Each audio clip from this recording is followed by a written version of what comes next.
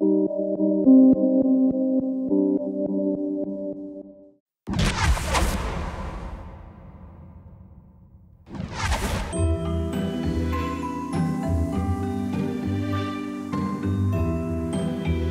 film begins in Hawaii, in the middle of the Pacific Ocean. In spite of the island's remote location, it has also fallen victim to the epidemic of the 21st century, plastic.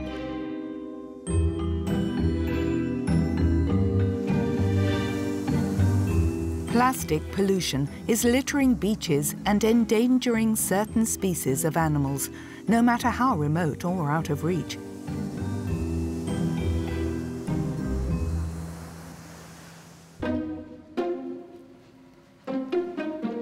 In this laboratory in the north of the archipelago, scientists study marine animals, not plastic, at least in theory. No idea what that is. but it's certainly plastic. Jessica Perelman is a biologist. Accustomed to finding plastic in fish stomachs, she has started a very unique collection. Occasionally we'll find plastic bags. And this was all coiled up in the stomach when I found it. And I had no idea what it was until I unfolded it and just. How did you react when you find this in the stomach? I was shocked. I started, you know, documenting it and measuring it, taking photos, showing whoever else was around in the lab, and we were kind of, we were just, you know, shocked to think that, that these fish are, are really ingesting this. I mean, to her disbelief, the scientist has found plastic in an unlikely specimen known as the lancet fish.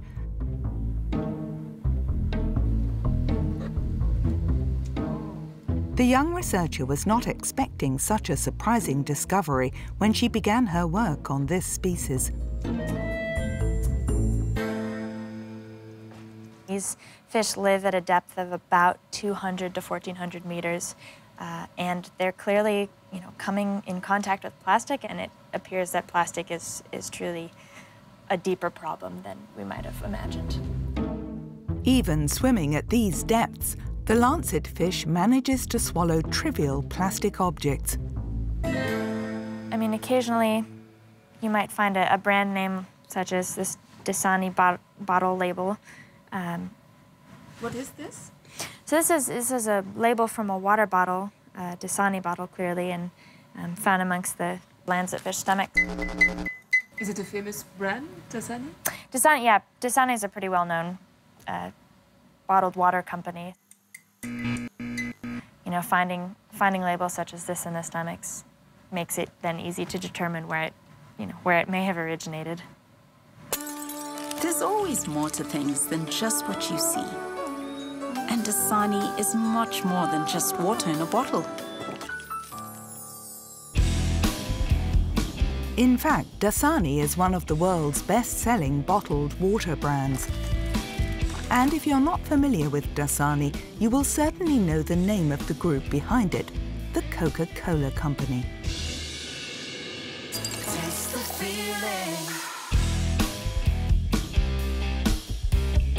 Everyone knows Coca-Cola, but not everyone necessarily knows that the group is in charge of dozens of other brands.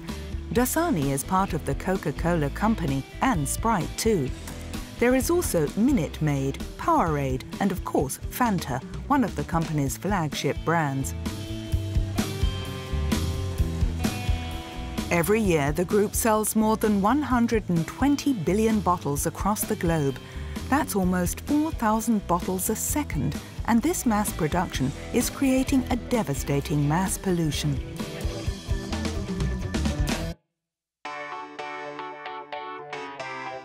In January 2018, the multinational made a bold announcement. By 2030, the brand is promising a world without waste. And it's James Quincey, Coca-Cola's CEO, who is leading the movement. What we need to create is the circular economy. We need to create value for that. It's absolutely doable. A world without waste, thanks to unlimited plastic recycling. But how reliable are the promises of this multinational? Can recycling really make this problem go away? With plastic becoming a global catastrophe, we investigated the company's promises and uncovered a secret strategy which contradicts their convincing pledges. On a l'impression que vous jouez double jeu. C'est pas un double jeu si ça ne reflète pas notre politique aujourd'hui. For decades, the multinational has been aware of the damage that its plastic bottles are capable of causing, but responsibility has never appeared to fall on them. What is the reason behind this? Because ultimately it means it means higher costs for them. In Africa, far from the soda giant's American headquarters, we are going to expose the truth behind the so-called recycling economy that Coke is trying to promote. Ah, nimesema ni hii pamoja na hizi. Hii sipati ya kujitosheleza isipokuwa na kim mahitaji yangu yale lazima tu. Come on, one last drink for the road. Welcome to the wonderful world of the plastic promises of the Coca-Cola Company.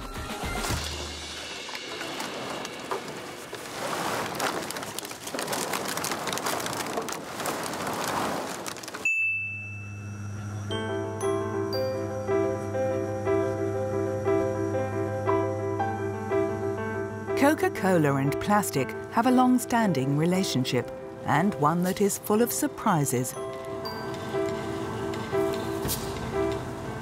To find out more, we travelled to the United States to meet a man who is well informed on the subject. He lives in this small house in Virginia. Hi guys. Hello, Bart. Nice to meet you. Nice to meet you. Yes. Sandrine. Welcome to uh, Virginia. Coming Thank down you. all It's this way. difficult to find. Isn't it? I know, I know. Well, I hope, uh, I hope the drive was good. Yeah, well, come on in, come on in. Thanks. Yeah. Just uh, tuberculosis. Bart Elmore is a historian. He's the author of a book about Coca-Cola. A bestseller, it retraces the multinational's entire environmental strategy, particularly from the 60s onwards, when plastic began to revolutionize consumer society. We began to see massive amounts of litter piling up around the, uh, the country. Coca Cola tried to respond to this. Wow, we're getting blamed for all this aluminum waste and all this ultimately plastic waste. What do we do? And one of the things they did was partner with an organization called Keep America Beautiful. When you hear Keep America Beautiful, you think like, wow, this sounds like an organization started by a bunch of kind of bearded environmentalists, or at least that's what I thought. Um, you know, because you see this sign everywhere in the United States. It's still a very present organization. But it was founded, surprisingly, by the beverage, brewing, and canning and packaging industries, right? The idea was that let's tell consumers, they're the bad ones. They're the litter bugs. They're throwing this away. Industry shouldn't be blamed for all of this waste.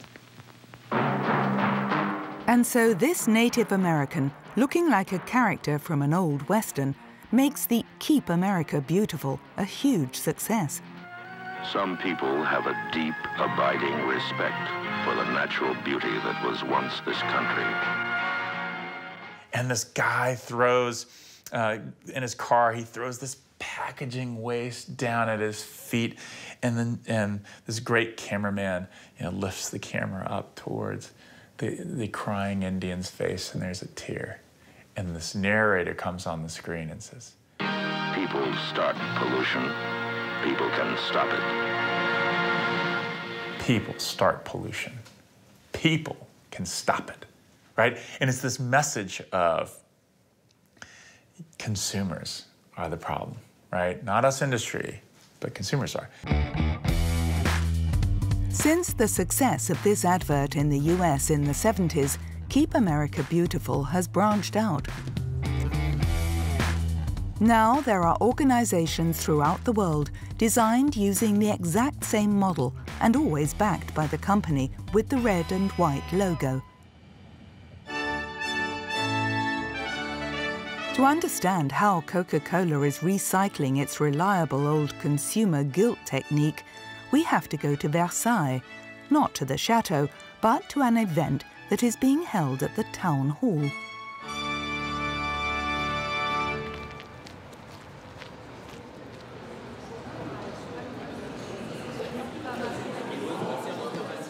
It is an important conference with several elected officials from all over Europe they're here to speak about the cleanliness of their towns, and it's serious stuff. They're even discussing the colour of their trash cans. À l'Allemagne, il n'y avait pas ces corbeilles en orange fluo. Le simple fait d'avoir rendu les corbeilles visibles avait permis une meilleure utilisation. To conclude the meeting, the guest of honour makes a speech. This time, it's the director of Keep Scotland Beautiful, an association partly financed by Coca Cola, like Keep America Beautiful. And it seems Derek Robertson is a fan of soda. Listen closely. Some of his slip ups are extremely telling. I have the great privilege of working for an organisation in Scotland and also being part of a European one that gives a, gives a, a, a, a shit, I was going to say, but doesn't care. We do care and we want to try and change the behaviour of individuals. We want people to start thinking about civic pride, the personal responsibilities that they should take emphasizing individual rather than collective responsibility. Clearly, nothing has changed since the advertisement of the Native American crime. I've seen that you, you were drinking Coca-Cola this morning. Is a single-use bottle plastic a, a problem today?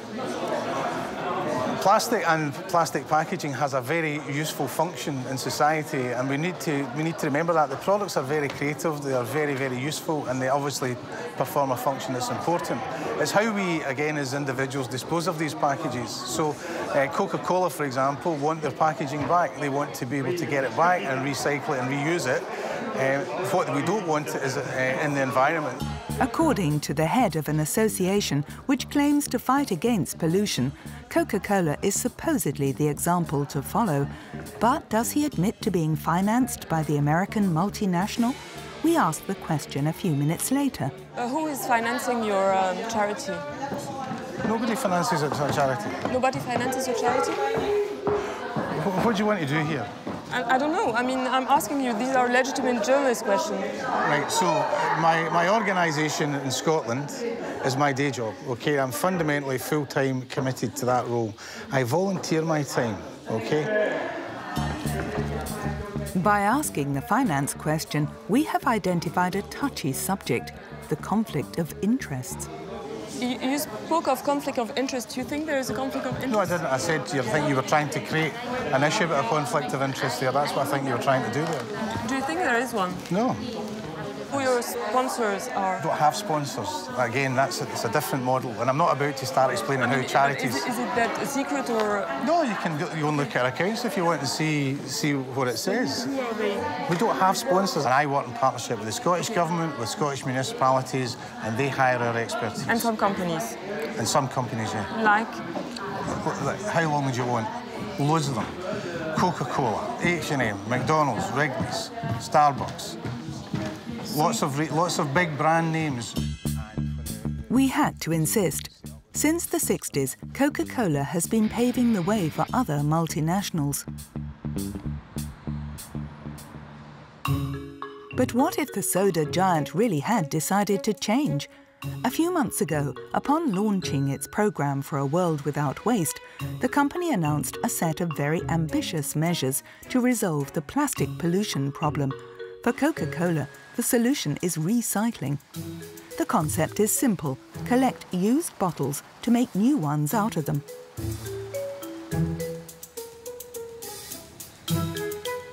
Coca-Cola promises to put 50% recycled plastic in its bottles by 2030, and that's on a global scale.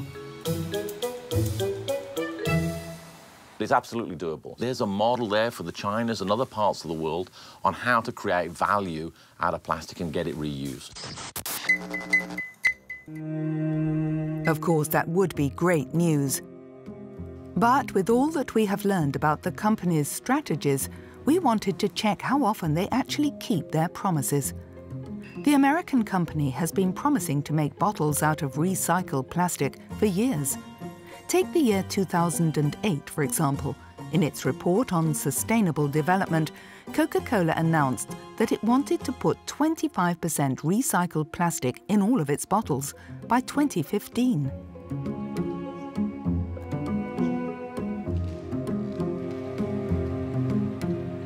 For a long time, we sought to find any trace of this in the report from 2015.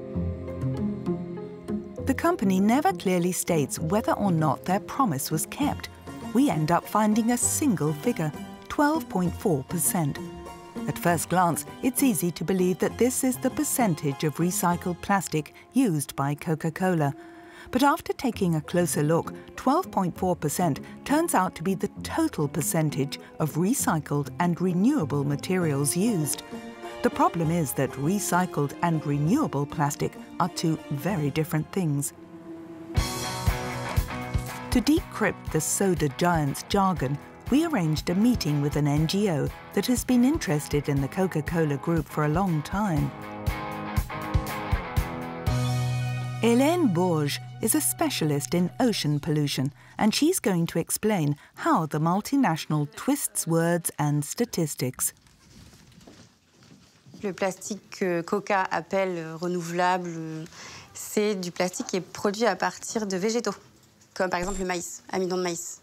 D'ailleurs, le nom qu'ils ont trouvé, c'est Plante Bottle avec un petit logo vert, une petite feuille.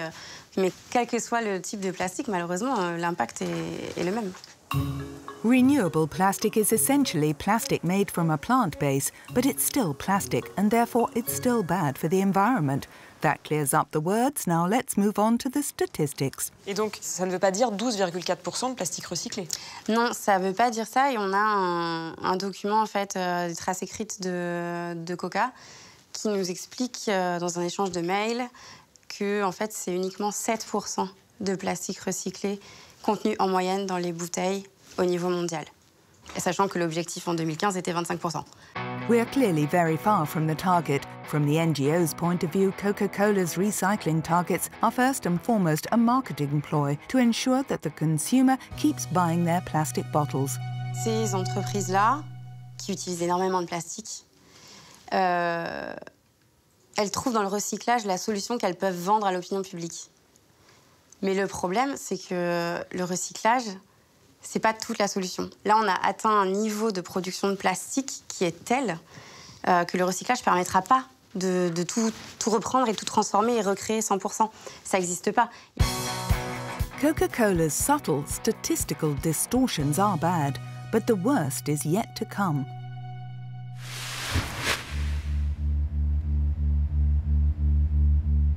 We uncovered something far worse in this envelope, which contains dozens of letters and internal records from Coca-Cola. These documents should have remained confidential, but they were published anonymously on the internet a few months ago. We carefully sifted through all the information and found that we could not be further from their ambitious A World Without Waste slogan.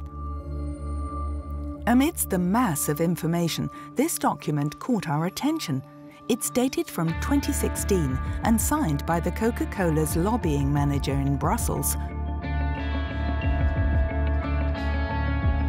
The bullet points are all the measures that Europe could adopt, but which do not coincide with Coca-Cola's interests. In the mix, we find carbon pricing, restrictions on the usage of caffeine, and EU ban of advertising to children under 12. In other words, anything that could lower the company's turnover figure. On the right, there's a circle entitled Fight Back. These are all the European measures that Coca-Cola has decided to fight against through lobbying.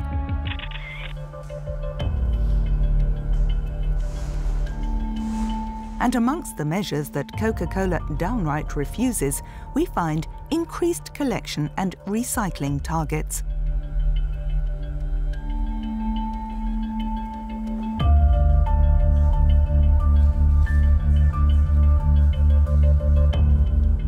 You heard it. Coca-Cola wants to fight against increased recycling targets in Europe, while they're promising the exact opposite in their public pledges. C'est d'un cynisme euh, redoutable. Leur travail, c'est de maximiser euh, leurs euh, leur bénéfices, donc ils travaillent dans ce sens-là. C'est leur boulot. In the fight back category, we also discovered that the company wants to fight against the deposit system. This is one of the systems that is actually effective in combating pollution, and the oldest in the game are well aware of this.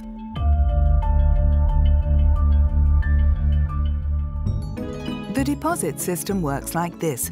When you buy your drink, you pay, let's say, a euro for it, and you also pay an extra charge, the deposit, let's say 20 cents per bottle. In total, it'd cost you 1 euro 20, but if you bring back the bottle, you'd get your 20 cents back, and so, all of a sudden, no one wants to throw their bottles away anymore.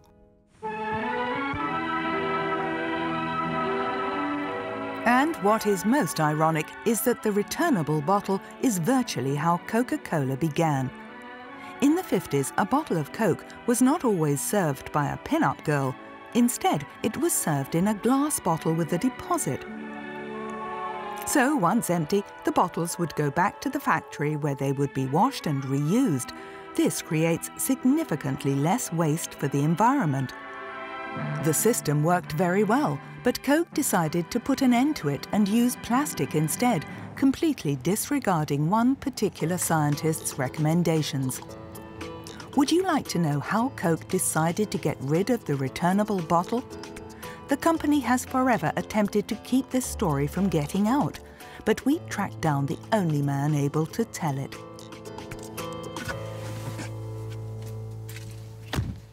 Today, he is enjoying a discreet retirement in Michigan, in the United States. Hello, I'm Sandrine Rigaud. Good to meet you. Nice to meet you. Thank you very much for welcoming us. Please enter. Thank you. Thank you very much. This gentleman is called Arsène Darnay. He worked for the American Environmental Agency for many years. He's also the first engineer in the world to investigate the ecological impact of Coca-Cola bottles. Well, that's a fair imitation, but they were smaller. Yeah. A typical Coke bottle was about this, this big, green, translucent, and always glass. Always glass. Arsène Darnay is referring to the beginning of the 70s that was when the Coca-Cola company began to show an interest in plastic and to reach out to him. What they wanted to know is if you take into account all other environmental impacts on nature, what is the best system? The engineer works for over a year comparing the environmental impact of glass bottles to that of aluminium cans and plastic bottles he cross-analyzes the data, makes graphs, does complex calculations, and he finally comes to this conclusion. A glance at the table shows that the returnable glass bottle, provided it makes 15 trips before it is discarded, is the ecological container par excellence. Thanks to this report, the Coca-Cola company knows fully well at the start of the 70s that returnable glass pollutes significantly less than plastic. But the company would never publicly share this information. We put this together for them, and uh, they didn't publish it. You know why? They were not interested in, in have, having the public see the, the, total picture. Why? Because they wanted to keep, in, keep it quiet as to which way they were going to go. This is the new lightweight plastic two litre bottle. I watched them slowly introducing the plastic bottles. Easy goer, for your Coca Cola bottler. In fact, one time I even remember clearly one time going to uh, going home and saying to Bridget, my wife, uh, I said, "Ah, they're going to the plastic bottle." I told you they would. And they are now going. It's just the first step. So light that 10 EasyGo plastic bottles weigh less than one glass bottle. EasyGo weighs 25% less than plastic. With this advert for its new plastic bottle released in 1975, Coca-Cola buries Arsène Darnay's report once and for all. It's light, it's tough, it's easygoer. The American company never looks back. Coca-Cola imposes its plastic bottle everywhere, and theirs isn't the only one flooding the market. It's a tidal wave. From the 80s onwards, plastic devastates beaches. And the first ecologists begin to protest against pollution. Certain American states consider a forced return of the deposit. Little do they know the company's immense power. Coca-Cola has been a, a, a significant force behind fighting legislation that would put deposits on containers or put some kind of price on packaging waste. There are newsletters that talk about all the successes that Coca-Cola is having around the country. And it's almost like this great, you know, celebration letter every every week. We defeated this deposit system in this state, and we defeated it here. Why do you think uh, they were fighting so hard against deposit system? What is the reason behind this? Because ultimately it means it means higher costs for them. In, in the end, this was a way of this was forcing them to internalize their pollution costs. This was a market mechanism that's very smart to try and get industry to recognize that you have to deal with this waste. Let's recap. In front of the cameras, Coca Cola's CEO promises us a world without waste. That's our objective. But behind the scenes, the American company is doing everything in its power to eschew any alternatives to plastic, like the returnable bottle. Allez, arrivez, fichier. After months of negotiations with the American multinational, we have a meeting at the headquarters of Coca-Cola France for an interview. Bonjour. Merci de nous recevoir. On est ravis d'être ici. A polite and warm welcome. On n'a pas bougé le mobilier, mais tout est amovible. Est-ce que vous voulez boire quelque chose But it seems we have not yet won their trust. On va filmer le, nos échanges. Bonjour. Bonjour. Comme on vous l'avait dit par, par Oui, email. d'accord. Donc c'est Archie qui s'en chargera. D'accord. The vice president of the company, Michael Goltzman, has traveled from the United States to answer our questions. He has worked for Coca Cola for 21 years. He's in charge of global policy and environmental sustainability, and he's a French speaker. Merci infiniment. Vous êtes venu d'Atlanta exprès pour nous Euh, oui, je suis arrivé lundi. Ah, d'accord. Vous êtes là pour quelques jours à Paris. Oui. So our interview is done in French. Coca-Cola a, a lancé un programme pour un monde sans déchets en 2030. Est-ce que vous pensez que c'est possible d'arriver à un monde sans déchets avec 4000 bouteilles en plastique vendues chaque seconde par le groupe Coca-Cola? Oui, on pense absolument que c'est possible. On se sent vraiment responsable euh, de ce qui se passe. Donc, ce qu'on veut faire, c'est qu'on veut entraîner, créer une économie circulaire. Donc, nos emballages ont de la valeur, peuvent être re- réutilisés. Et si nous et d'autres industriels utilisent encore plus de matières recyclées pour refabriquer les bouteilles, ça va entraîner une économie circulaire. Quel est le pourcentage de plastique recyclé que Coca-Cola met euh, dans ses bouteilles à l'échelle mondiale aujourd'hui D'accord. À l'échelle mondiale, on, on a du travail à faire. On est à 7% Dès 2008, le groupe Coca-Cola s'était engagé, je pense, et vous allez me le confirmer, à intégrer 25% de plastique recyclé en 2015. Donc là, on est en 2018, on est toujours très très loin du compte. Vous le dites vous-même, dans le monde, euh, la proportion de plastique recyclé dans une bouteille, c'est 7%. Euh, comment ça se fait? Pourquoi vous n'y êtes pas arrivé? Parce que euh, c'était difficile et vous avez raison, on n'a pas atteint nos objectifs. On est conscient, on sait qu'on a de, de la marge pour améliorer notre performance. Mais avec cette nouvelle stratégie, on compte y arriver. Mais on est d'accord, vous êtes quand même loin du point d'arrivée. Je suis d'accord qu'on on est loin, mais euh, on a lancé euh, cette stratégie en janvier, donc on est en juillet aujourd'hui. Donc Coca-Cola s'engage dans une vraie politique, en tout cas c'est ce que vous dites, depuis janvier 2018, c'est-à-dire depuis un peu plus de six mois. On a été impliqué dans les systèmes de collecte et de recyclage dans plein de pays. On a investi en France en 2012. Donc, ce n'est pas quelque chose qui est nouveau pour nous. Mais oui, notre stratégie, notre nouvelle stratégie a été lancée en janvier 2018. Est-ce que vous connaissez ce document? Oui. Alors, il date de 2016. Ce document, il est signé euh, Sofia Chrysopoulou. Poulou, pardon, c'est votre lobbyiste à Bruxelles. Et ce qui est très intéressant, c'est qu'en haut à droite, ici, donc, il y a un cercle que vous appelez Fight back. En français, fight back, ça veut dire contre-attaquer. Parmi ces mesures, on lit quelque chose qui est très intéressant. Increased Recycling and Collection Targets. En français, l'augmentation des objectifs de collecte et de recyclage. Expliquez-moi. Ce document ne reflète pas notre stratégie aujourd'hui. C'est un document Coca-Cola. C'est un vieux document, comme vous avez dit, qui date de 2016 il n'est pas vieux, il a deux ans. Ben, notre nouvelle stratégie a été lancée en janvier et ce document ne reflète pas cette stratégie et ne, ne, reflète pas la, politique aujourd'hui. Attendez, euh, Monsieur Goldsman, vous m'avez dit il y a quelques minutes seulement, nous, la préoccupation du plastique, du recyclage, etc., c'est quelque chose qu'on a depuis longtemps. 2016, votre lobbyiste en chef à Bruxelles, face à l'Europe, dit très clairement que parmi les mesures à contre-attaquer, il y a l'augmentation des objectifs de collecte et de recyclage je vous ai dit que ce document ne représente pas notre politique aujourd'hui. C'est ça qui est important. C'est ce qu'on veut faire aujourd'hui. Attendez, il y a deux ans. Il y a deux ans, vous étiez contre l'augmentation des objectifs est-ce qu'on va parler de ce qui s'est passé il y a deux ans ou est-ce qu'on va parler de ce qu'on entend faire et on est en train de faire aujourd'hui pour créer un système qui va qui va euh, aider à collecter, réutiliser, travailler avec d'autres partenaires, d'assurer qu'on crée une économie Pardonnez-moi, mais on a l'impression que vous jouez double jeu, très clairement.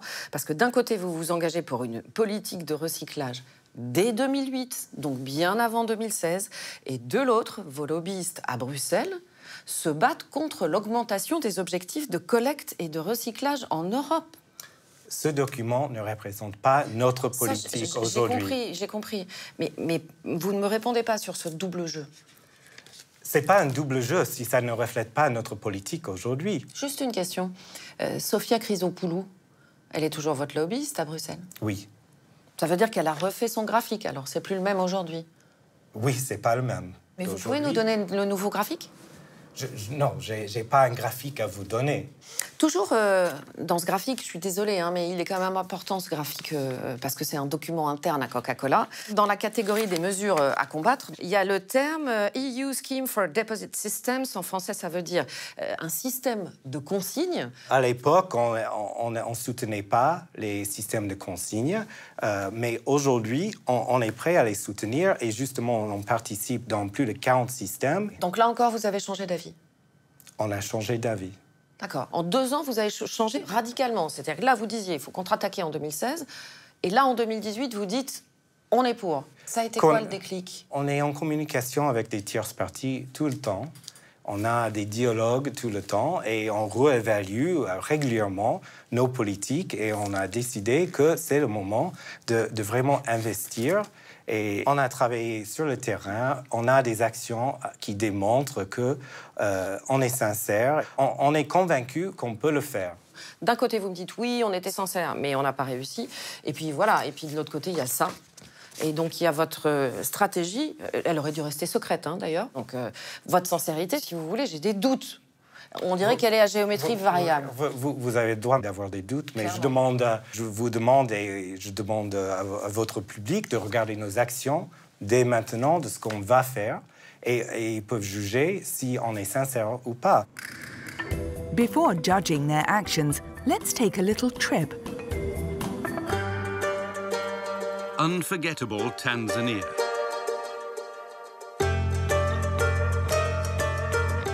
We travelled to Tanzania, a country in East Africa known for its incredible landscapes, unspoiled beaches, and the best safaris in Africa.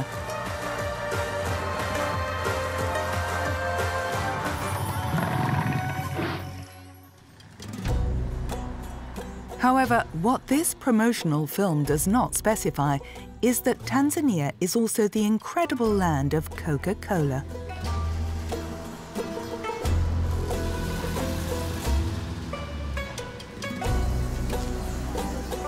Here everyone waits for red and white buses, walks alongside red and white walls, and in the playgrounds, children play around red and white.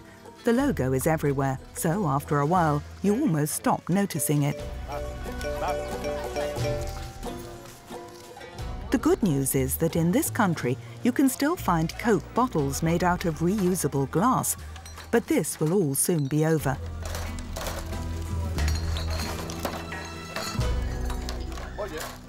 The American company is doing in Tanzania what it did in the United States 50 years ago, replacing the glass bottles with plastic ones.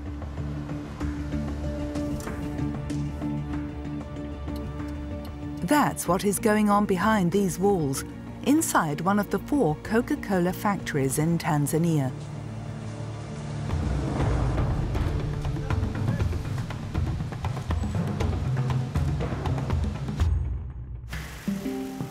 Our guide is James Malaba, the manager of the new production line, a production line which only makes plastic bottles.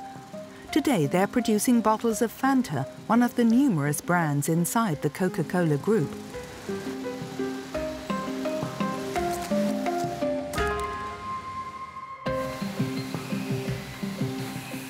Everything is automated and the equipment is brand new. The bottles are filled behind this window.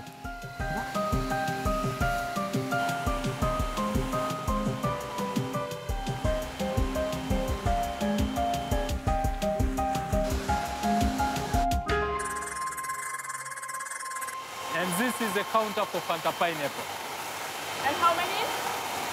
It is uh, 8,000, 86,340 bottles, which is, is the land of two hours and the, uh, two hours and a half.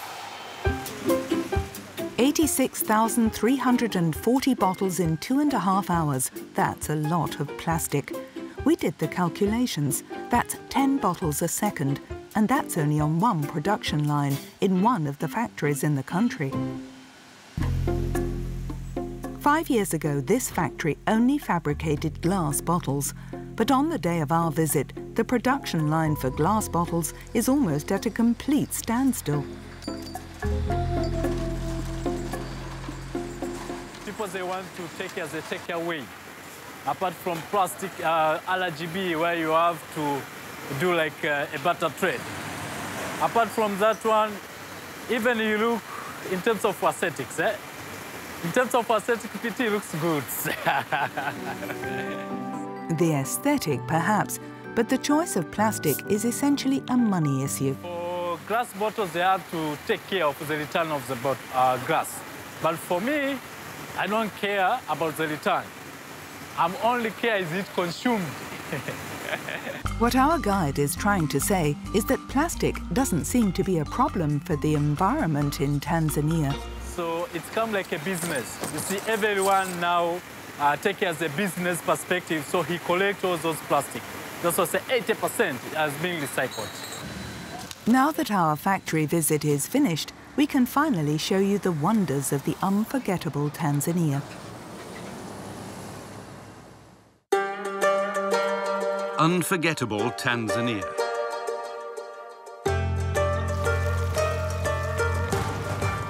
Here are the real results of Coca-Cola's famous recycling business. And just by looking at the waste collectors we were told about, it's clear that the recycling business is first and foremost a poverty economy.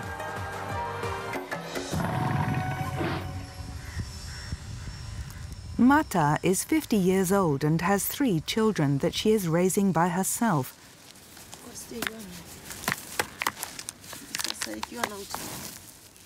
To feed her family, she collects plastic on the beach.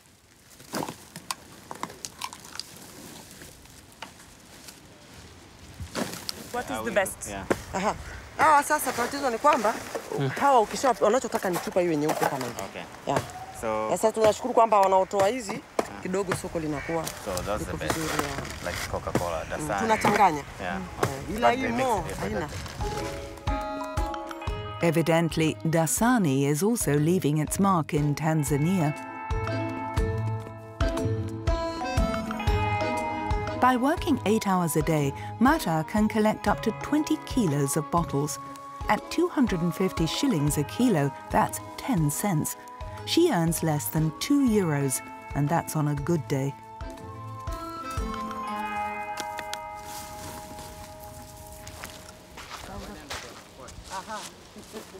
nimesema ni hii pamoja na Eh, hizi. lakini anasema unaji- Yeah. unavyopata Hii unajitosheleza. sipati ya kujitosheleza isipokuwa na kim mahitaji yangu yale lazima Okay. tu, Kisa- lakini sio kazi ya permanent kwamba inanitosheleza. Iko chini, eh? Bado iko chini Ndio hiyo 200. 280 Eh, na ni ki- viwanda vyote, sio kiwanda kimoja. Why the price is down? Inashuka kwa sababu chupa zinakuwa nyingi kiwanda. Mm-hmm. Too much plastic, and too many people like Mata who collect empty bottles just to scrape by.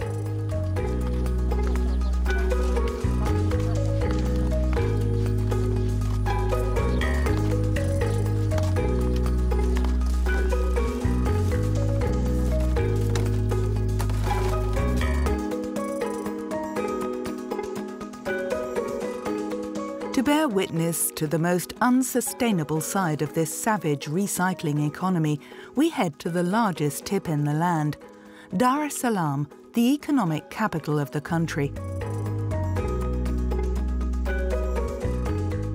Every time a truck arrives to unload waste, it's the same frenzy.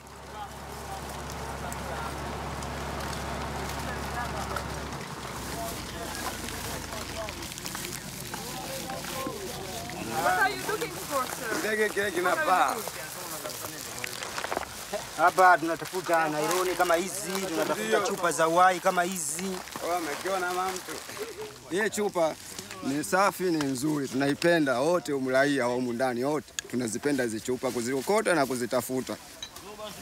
Inachokuja ugumu, bei inashuka ghafla. And so they resort to using their bare hands to dig through other people's waste.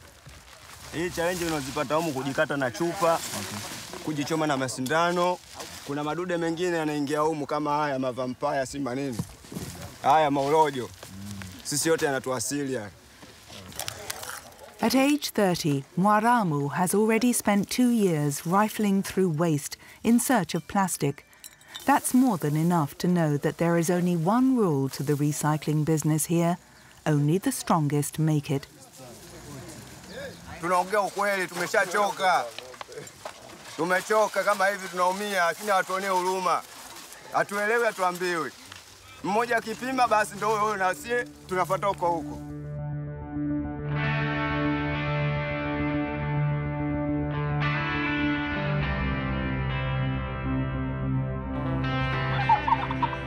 It's time to clean the windscreen and head elsewhere.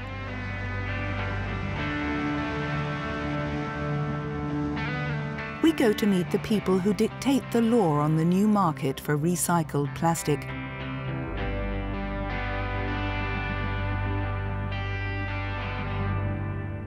We find them in the suburbs of Dar es Salaam. These are the companies who buy plastic bottles. This one is the largest in the country.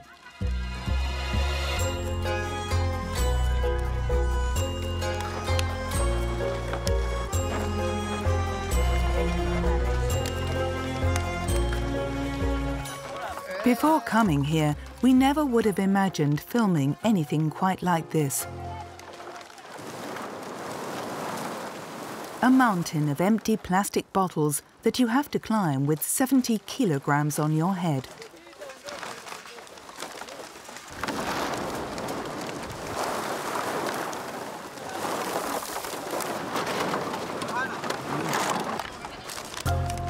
At first, we are almost fascinated by this blue mountain and the incessant coming and going of climbers, all smaller than their loads.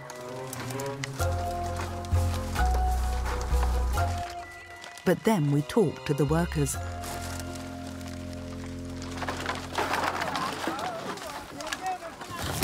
Yaani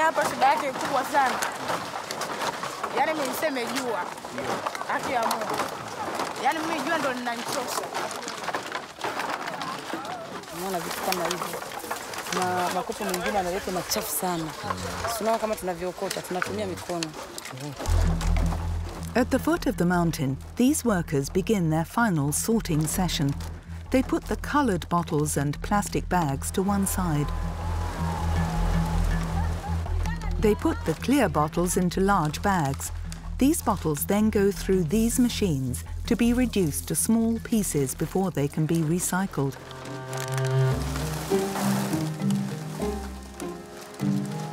Until very recently, the company exported this plastic to China, the largest buyer of recycled plastic in the world. This is what the site manager is about to explain to us. Yesterday when I was working and uh, asking the collectors to tell me about, they told me the price went down a few months ago. Yeah, they went down Why? because China denied to buy this one. We stopped for a while since September and we start on February to export because there was no, no, no market. So what did you do when you couldn't export to China? Oh, we keep on buying. We buy and we buy and we buy. You see that mountain? This is because you couldn't sell to China? Yeah. So it accumulates? Yes. In 2017, China announced that it no longer wanted to be the world's largest rubbish bin and that they would stop importing used plastic from January 2018. This decision led to the collapse of the recycled plastic market, a precarious business, and an economy that rests entirely on the backs of the most vulnerable.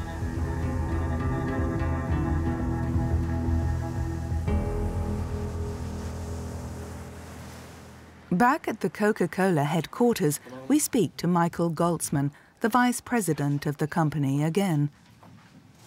Je voudrais vous montrer quelques images d'un pays où euh, on a tourné dernièrement. Alors, je vais vous montrer ces images-là.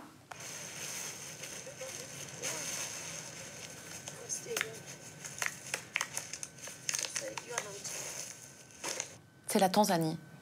Vous êtes déjà allé en Tanzanie? Oui, Donc vous y êtes allé pour le groupe Coca-Cola? Oui. Qu'est-ce que vous y avez fait? Qu'est-ce que vous y avez vu? Ces images plaisent à personne hein, et ne- on n'est pas content de ce qu'on voit là non plus. Mais c'est justement la raison pour laquelle on lance cette nouvelle stratégie. Vous savez pourquoi on est allé tourner en Tanzanie? Non. Ben, je vais vous l'expliquer. Parce qu'il y a six ans, Coca-Cola ne vendait en Tanzanie aucune bouteille en plastique. Que des bouteilles en verre. Elles étaient consignées. Et aujourd'hui, les usines d'embouteillage de Coca-Cola en Tanzanie misent, mais alors très clairement, sur le plastique. Pourquoi avoir fait ce choix?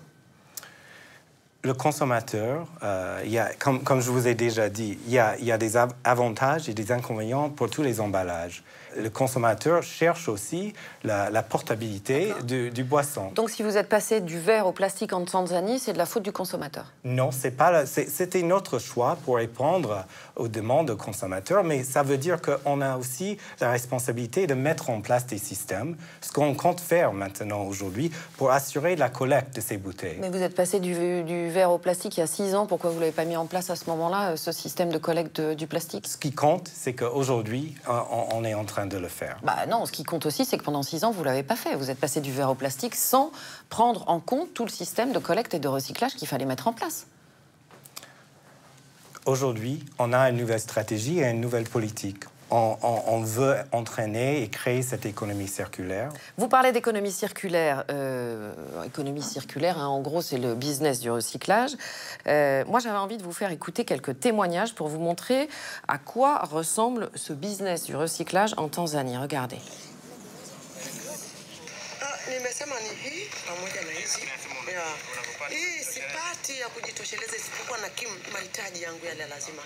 Qu'est-ce que vous en pensez? On pense que euh, nos emballages ont une valeur après avoir utilisé. Et si on investit à tirer la demande en utilisant plus de matières recyclées, ce n'est pas une question qu'il y a trop de plastique, il n'y a pas assez de demande. Donc, si nous, on, on tire la demande en utilisant plus de ces bouteilles en tant que matière recyclée, ça va aider, ça va créer une, cette Mais économie attendez, ces, ces gens vont se battre là pour récupérer des bouteilles, pour en tirer quelques centimes. C'est plus de l'économie circulaire, c'est l'économie de la misère. Ça, comme je vous ai dit, il faut mettre en place un système, une infrastructure où ces personnes vont avoir un vrai salaire pour pouvoir travailler dans le ramassage et la collecte euh, des, des- des emballages. Moi, je comprends toujours pas pourquoi, quand vous êtes passé du verre au plastique en Tanzanie, vous n'avez pas mis euh, en place l'économie du recyclage. Parce que l'économie du recyclage, aujourd'hui, en Tanzanie, ça ressemble à ça.